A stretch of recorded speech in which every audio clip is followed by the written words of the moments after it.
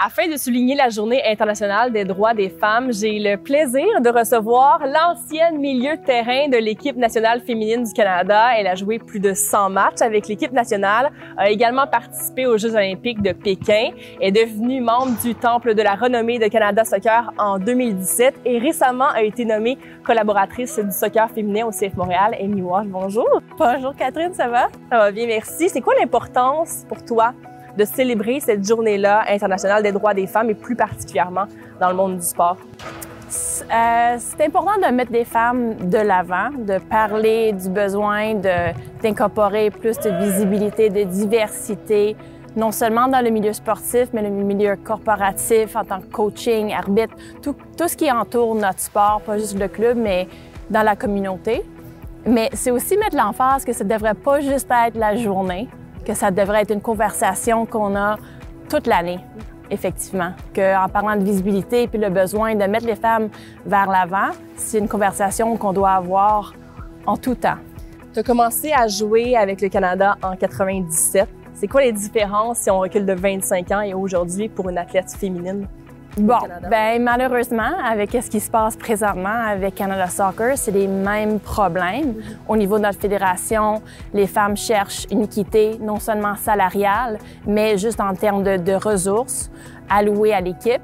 Euh, quatre mois de leur Coupe du Monde. Fait que ça, ça me fait beaucoup de peine. C'est vraiment désolant qu'on parle encore des mêmes choses que moi, étant euh, représentant de, l'équipe, euh, qu'on vivait plus de 20 ans. Mais en dehors de tout ça, côté professionnalisme, il y a, beaucoup plus d'opportunités pour euh, les femmes de jouer au quotidien dans un milieu professionnel. Alors ça, c'est bien pour non seulement nos femmes à présent qui représentent le Canada, mais partout au monde et aussi la prochaine génération. Je veux parler de toi, je veux replonger euh, dans tes tout débuts, dans ton début de carrière, même euh, au niveau amateur. Tu as commencé à jouer au soccer à Saint-Bruno, si je me trompe pas. Est-ce que c'est vrai que tu jouais avec les gars?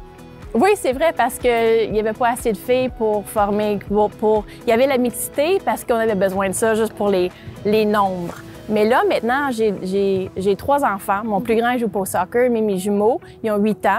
Ils vont euh, évoluer dans le U9 à, Mont-Saint-Hilaire, notre équipe là-bas. Mais moi, je veux la mixité, mixité, que ça, ça continue parce que je pense qu'il y a des bienfaits pour les deux genres. Oui, qu'est-ce que ça t'a apporté, toi? Bien, pour moi, ça m'a apporté que, pas le fait que je n'étais pas consciente que je jouais contre les garçons, mais c'était juste quelque chose qui était naturel. Puis je pense que ça, ça m'a permis, ça m'a permis de, de, me pousser, me dépasser, mais aussi à montrer aux garçons mhm. que les filles aussi sont capables. Comprendre ta valeur aussi. Comprendre ta valeur, puis aussi euh, comprendre qu'il n'y a pas beaucoup de différence à cet âge-là. Comment tu as été repérée par l'équipe nationale? C'est à travers, euh, j'ai joué à Saint-Bruno longtemps, jusqu'à l'âge de 15 ans à peu près. Après ça, j'ai fait le saut à Brossard, notamment Patrice Bernier a joué là euh, et sa femme, Melissa Baril. J'ai commencé à jouer un double A en triple A. J'ai dû me faire un, grand saut côté technique. Après ça, repéré par les équipes du Québec et finalement l'équipe U20 nationale et l'équipe de, de la Coupe du Monde. Amy, tu es, une leader, tu fais entendre ta voix sur tes différentes plateformes pour promouvoir l'équité entre les hommes et les femmes, mhm. surtout dans le monde du sport et du soccer. C'est quoi, c'est quoi l'importance pour toi de parler haut et fort et de défendre les droits des femmes euh, dans le monde du soccer? Ben, en premier lieu, c'est que si on regarde le monde entier, il y a plein de pays où les femmes n'ont pas de voix.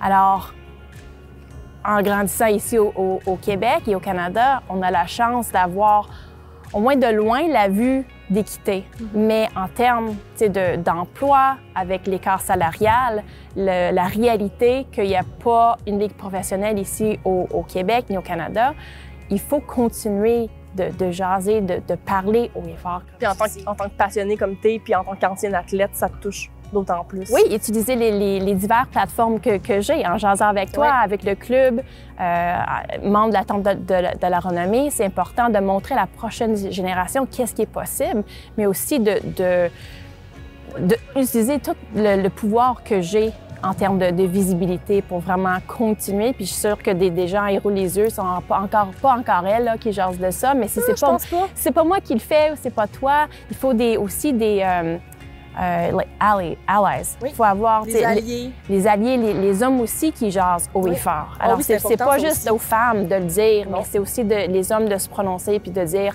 ça, c'est important. Tu as été récemment nommée collaboratrice euh, du soccer féminin au CF Montréal. Quels sont tes projets? Sur quoi est-ce que tu travailles?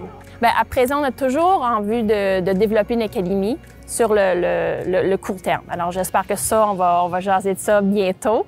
Mais euh, maintenant, on, on peut jaser de le programme PDR qui a été offert l'année passée, au mois d'avril, pour la première fois pour les filles, également avec les garçons. Alors, on travaille pour des événements pour le U13 cette année pour faire rayonner ces filles-là qui, qui continuent d'évoluer avec leur club, mais aussi on va avoir une nouvelle cohorte qui va rentrer cet été, ils vont être ciblés.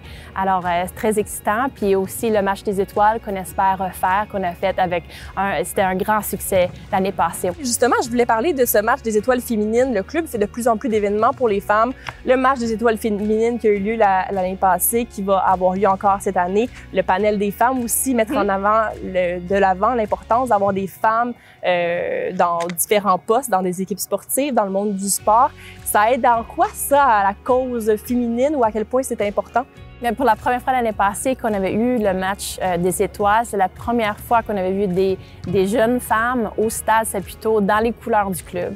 Alors ça, c'était juste un moment pour moi que on avait vu l'impact, on avait, vu- dans les visages des filles, d'être dans le vestiaire, euh, d'être sur le terrain, les familles dans les estrades. Alors juste de, de continuer, comme prendre cet aspect-là, cette émotion, puis de le poursuivre, l'injecter, puis de, de faire rayonner ces filles-là aux prochains événements. Tu as eu la chance de les côtoyer. Quel conseil est-ce que tu donnerais à une jeune athlète qui débute sa carrière dans le monde du sport aujourd'hui? Que tout est possible, qu'avec la Ligue qui s'en vient en 2025, ils vont pouvoir peut-être jouer professionnel dans leur cours arrière. Alors ça, pour moi, c'est ça peut tout changer niveau infrastructure dans notre province, dans notre pays, pour leur évolution euh, en, de, de grassroots jusqu'au niveau pro.